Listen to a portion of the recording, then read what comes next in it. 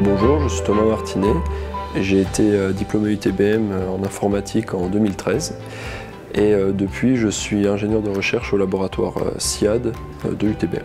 Alors le but derrière ce projet est de former le plus grand nombre aux gestes de premier secours parce qu'on s'aperçoit aujourd'hui qu'à peu près 60% des morts suite à des blessures graves euh, pourrait être évité si jamais euh, une personne avait les connaissances premier secours euh, à proximité. D'où l'idée d'une application grand public pour permettre à n'importe qui de s'entraîner chez soi à se former au premier secours.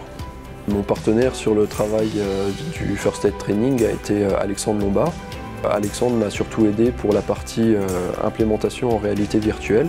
La réalité virtuelle apporte de l'immersion. On immerge vraiment l'utilisateur dans un environnement avec euh, les bruits qu'il y a autour, avec euh, du décor, du bazar, qui vont le surcharger d'informations comme il le serait dans un, dans un cas réel et pas dans un scénario euh, on va dire, de formation classique. Des professionnels s'intéressent à, l'application, mais le First Aid Training est essentiellement dédié aux utilisateurs grand public. Je suis sapeur-pompier volontaire et formateur au premier secours. J'ai pu me servir des référentiels secouristes pour établir euh, la véracité de l'application. Donc euh, tous les scénarios qui sont implémentés dans l'application sont réalistes et correspondent aux dernières recommandations en termes de premier secours.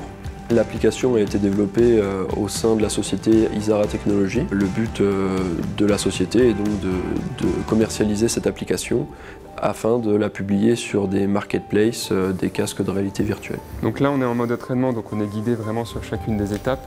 Une fois qu'on a terminé le niveau, on a un résumé qui nous fait le récapitulatif de est-ce qu'on a bien fait ou pas les différentes actions. Avec Thomas, on, a été tous les deux ingénieurs de recherche au, laboratoire SIAD à l'UTBM. C'est là qu'on s'est connus, qu'on a pu travailler sur des, applications réalité virtuelle. La formation UTBM a été utile euh, pour développer ce projet, notamment en termes de connaissances techniques en informatique et en architecture logicielle. L'UTBM m'a également apporté un réseau qui m'a permis notamment de rencontrer euh, mon associé Alexandre Lombard et avec qui euh, on a pu développer ce genre d'application.